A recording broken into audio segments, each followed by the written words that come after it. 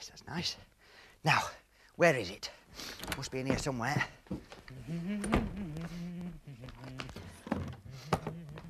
Oh. What are you looking for?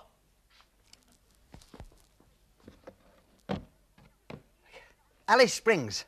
Does she? Not she. Alice Springs is a town in Australia. That's what today's show's about. What, Australia or Alice? Australia? We're going to celebrate Australia's bicentennial in a bit. Bicentennial in a bit. Yeah. Do you know it's just over 200 years ago that Australia was discovered? Is it? Yes. A ship called uh, something or other set sail from um, England under Captain. Uh, what was his name? Hook. That's right. Hook? Yeah. Didn't he go after Peter Pan? That's right. He was looking for Peter Pan and he accidentally found Australia. Oh. What about Cook? Oh, they didn't need one. They took sandwiches.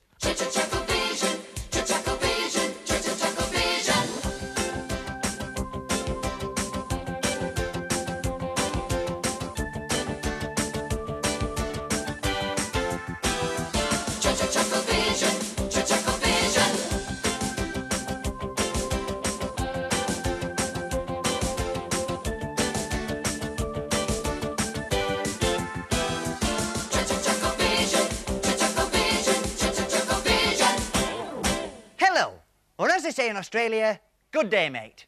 Now, this is very appropriate as today's programme is all about. Wallabies. One tea and two sugars, please. No, I brought you wallaby. Oh, hello, Kylie. Nice to see you. Well, if you'd just like to sit over here, and I'll be with you in a minute. Now, don't worry yourself. Now, I've been into the library and I've found out some amazing facts and figures about Australia. Come on. All right. Well, here in the library, I've found out some pretty amazing things. And later in the programme, I can promise you an Australian revelation. Australian Revolution? I've never heard of that. Not revolution, revelation. means I'm going to tell everybody something that nobody knows about Australia. Cool, what is it? Oh, I can't tell you now, it's a surprise. Oh, I love surprises. Yes. Now, Australia was first colonised by Britain in. in. in instead of Russia because. It's much warmer. because it's much warmer. In fact, most of Australia is just desert, which means that early British settlers got there. Just desserts. got there and found they couldn't farm the land, Oh. which meant they had to live on little insects such as crickets. This soon became a national occupation, and they soon had an international cricket team. Which leads us neatly into our next item, the Australia's Cup. Right now, the McTuckle brothers are talking via satellite to our Chucklevision reporters down under. Hey, Paul, what about Ayers Rock? Oh, don't worry about that. We'll come to it a bit later on. Okay. I see you, I know, I know, I see. Hey, do you mind, Cobber? All the blood's rushing to our head here. Ah, to the head. Eyes upside down. Hey, we're Aye. round, aye. Oh, aye, aye, Round, yeah, aye, I see see it, aye. I see you, Cobber. Okay, aye, all right, come. Aye. There you are, mate. Okay, Yeah. Thanks, mate. Yeah. Well, good day. Good eye. Now, before we get to the Australia's Cup, let's get one or two things sorted out. Most of you people over there think that just 'cause we're living on the other side of the world, all us Aussies walk around on our heads. Ridiculous. Exactly. Ridiculous. As you can see, over here down under, we're just the same as anywhere else. Yeah, so let's hope that's got that lot sorted out. Yeah. Hey, what about the Australia's Cup? Oh, yeah, the Australia's Cup. Yeah. Here it is.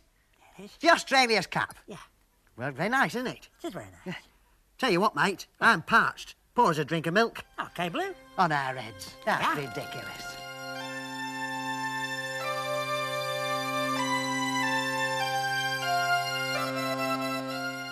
Have you got the hats? Yes, they're just over there. Good, go and get them. Right.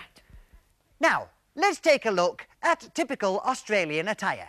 I wish you'd make your mind up. No, no. When I say attire, I don't mean attire, I mean attire. Oh, silly me. Have you got the hat stand? No, I couldn't get a hat stand, but don't worry, I'll do it. Oh, right. Now, early British settlers were convicts, and they were sent to Australia for wearing woolly bobble hats. Hence the name Pom. Yes. Now, although guilty of wearing silly woolly hats, they did make a valuable contribution to life down under the hat with the corks. Now, you can see the similarity between the English pom pom hat and the hat with the corks. They both help keep the flies off your face. Unless you wear your trousers on your head. Both very effective, but with the English pom pom hat, it also helps keep the suntan off your face. hey, it suits you that. Out in the bush, the typical Australian would wear the hat with the corks with the herder's coat. Oh, I forgot that. Eh? What are you doing? I couldn't get a herd. Will one goat do? Well, now it's time for armchair theatre. Or as they say in Australia, now it's time for armchair theatre. Hey, what about Ayers Rock? Oh, don't worry, I won't forget Ayers Rock. Oh. Mrs. Philhelmina Hall's phone rang one breakfast time. Hello, Mrs. Philhelmina Hall's residence? Crackle, crackle, she heard. Then came a very faint voice. Cousin, Sydney, Australia, Adelaide, I'm arriving. Lunchtime. Can I stay? Relatives from foreign climes are particularly welcome. I didn't realise I had a cousin Adelaide in Australia. That'll show the Higgins next door. and so she put on her very best pink velour tracksuit and went out and bought a bottle of the finest Cyprus sherry. I can't stop to chat, she said as she passed Mrs. Higgins from next door in the street. Mrs. Higgins looked startled. Mrs. Philhelmina Hall never stopped to chat to anybody. I've a representative from the Australian branch of the family visiting later. And so she set to about the house. She removed the brightly coloured mugs she usually had her tea in and hid them in the cupboard and got out her very best tea service. She laid out a row of books on the sideboard to give the place a cultured air. And she got a very specially soft roll of pink toilet paper and put it by the loo. She sat down by the dressing table and lined up rouge, lipstick, powder, and mascara, and three bottles of wrinkle remover. She was going to make quite sure that she looked no older than cousin Adelaide from Australia when she arrived. Two hours later, she was ready, and putting on her highest of heels, she went downstairs. The front doorbell rang, and Mrs. Philhelmina Hall of Penuel Road, Liverpool, went downstairs to greet her long-lost cousin Adelaide from Sydney, Australia. She opened the door and gasped. The person standing on the doorstep certainly wasn't cousin Adelaide. The person standing on the doorstep was a man, grinning from ear to ear and clutching a koala bear. Good day, Phil. I'm sorry. I'm expecting my cousin from Australia. That's me. You're not my cousin Adelaide from Sydney? Almost. Cousin Sydney from Adelaide. Sydney's the name, Adelaide's the place. Mrs. Philhelmina Hall quivered from head to foot. And under her makeup, her cheeks went pink. How could she possibly face the Higgins now? This is for you, Phil. Carly the koala. And he set the koala bear on top of the books that Mrs. Philhelmina Hall had carefully arranged on the sideboard. Do you take sugar? Five lamps, please, Phil.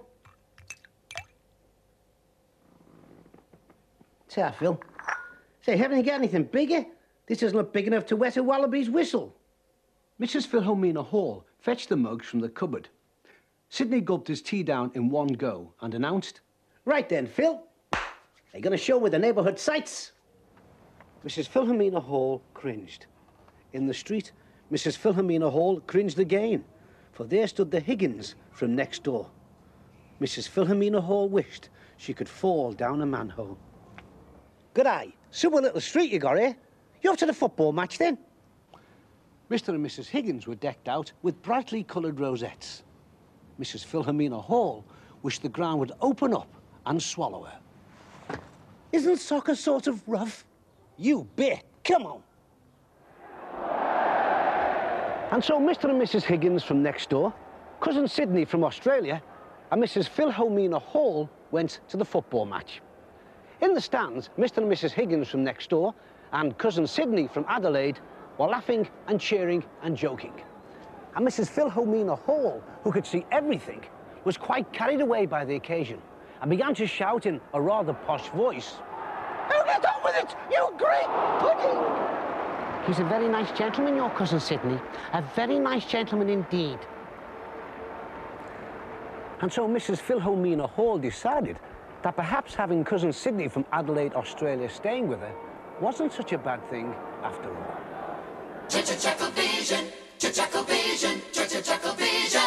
Hey, did you know there are nearly 16 million people live in Australia? Is there? Yeah, and it's a little known fact that if Australians lived in Egypt, they'd be called Egyptians. Would they? Yes. Well, I never. Never what? Never nothing. Quite right, too.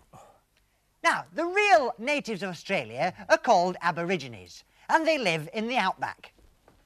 There's nobody out back here. No, the outback's the desert part of Australia. Oh, is it? Yeah, Oh. and the Aborigines are highly superstitious. Are they? Well, for instance, you'd never get one walking under a ladder. Why not? There aren't any ladders. Oh, that explains it then. Another thing that would have impressed Captain Hook were the different forms of wildlife, such as... Crocodile Dundee. He chased him in Peter Pan. Oh, yeah, of course he did.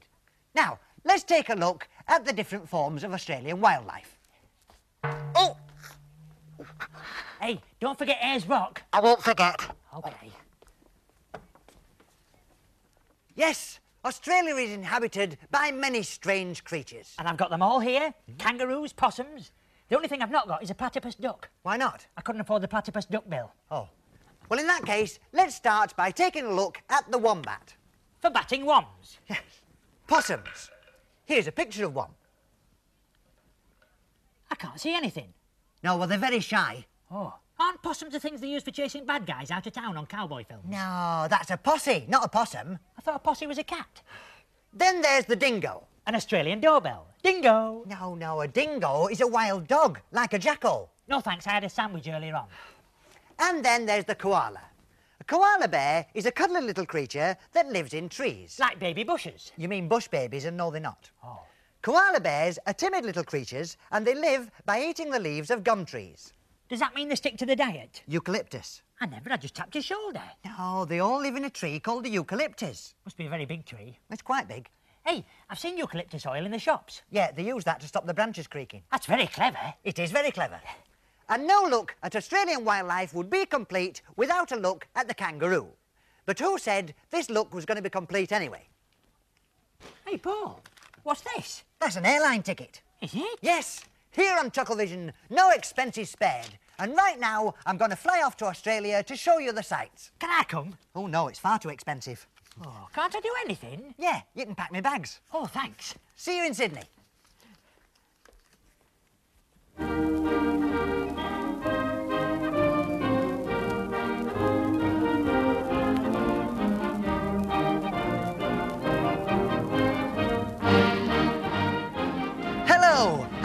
Welcome to a sweltering 180 degrees here out in Australia. And we're sitting outside Sydney's Opera House. And hark, I think I hear from inside the sound of the Australian national anthem. Neighbours, everybody needs good neighbours. Hey, Paul, this isn't Australia. You've just walked over from the other side of the studio. Well, nobody'll ever know. Eh? Ah, hello, Barry. What? I see you found the ticket I left you, the spare ticket. Yeah, you didn't really think I'd leave you back at home, did you? Um, what about Ayers Rock? Oh, don't worry, I won't forget about it. Oh, good. Now, let's take a trip out to see the Australian bush. Oh, yeah, the bush. And here it is, the Australian bush. Now, this bush has starred in many Australian series and films, such as Flying Doctors, Neighbours, A Country Practice, Emmerdale Farm, The Bush Rangers. the sound of bushes? No, music. Oh, sorry. Yeah, you're thinking of the other bush, Kate Bush. Kate Bush? Yeah, remember Wuthering Heights? Wasn't that the hotel we stayed at in Morecambe? No, that was Heathcliff next door. Of course it was. He knows. Now, this bush is the home of the red-throated spider, so you must be very quiet so as not to disturb him. Shh. Is it in here then? Ah! Oh! Another feature of the Australian bush is the billabong. Ah, here's one now. The old-time prospector would sit here all day and whittle at his boomerang. Not whistle, whittle. He would whittle at his boomerang. Oh, I love meringues. Not meringues, boomerangs. What's that then? Well, it's like a V-shape made out of wood. Oh, Yes, you can almost imagine the old-time prospector sitting here under the shade of the... what are you doing? I'm making a boomerang, aren't I? That's not a boomerang. Well, it's V-shaped and made out of wood. Well, throw it away. What for? I want it. No, if that's a boomerang, it'll come back to you. Throw it away. There's no point in throwing it away if you want it to come back to you. eh? There's no way that'll come back to you. There is. I'll put my address on it. Thick as a plank. Not quite. I'm playing some off. Give it to you. Hey, I wanted that, If that's a boomerang, it'll come back to you. but I haven't got my elastic on it yet. It's a boomerang. Back to the studio. Hey, don't forget Ayers Rock. I won't forget, but I've got to do my Australian revelation first. Oh. Oh, you're back already. Well, you'll have to excuse me because I'm a little bit jet lagged. But now it's time for Chucklevision's exclusive revelation, as promised, on Australia. Cool, I've been looking forward to this. Yes, we're going to prove conclusively and once and for all here on Chucklevision. Are you ready for this? I'm ready, I'm ready, I'm ready. That Australia Yeah. was once joined on to Scotland. Really? How do you make that out? Well, look at the proof. Um, Macaw parrots for a start. Yes. Yeah, well, Mac's a Scottish name, right? Yes, you're right. Right, yeah. now, secondly, where does a Scotsman keep his money? Uh, in a sporran. Yeah, and what's a sporran? Uh, it's a pouch on his kilt. Yes, and where, where does a kangaroo keep its young? In a pouch. Not a pouch, a sporran. A sporran. Yes.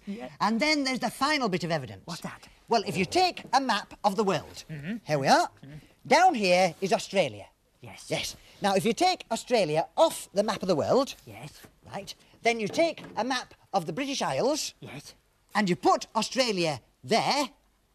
You see? Hey, Perfect fit. It is. Conclusive proof, once and for all, here on Chucklevision, that Australia was once joined on to Scotland. Hey, that's brilliant. Well, that's all we've got time for. Hey, I think I'll have my breakfast now.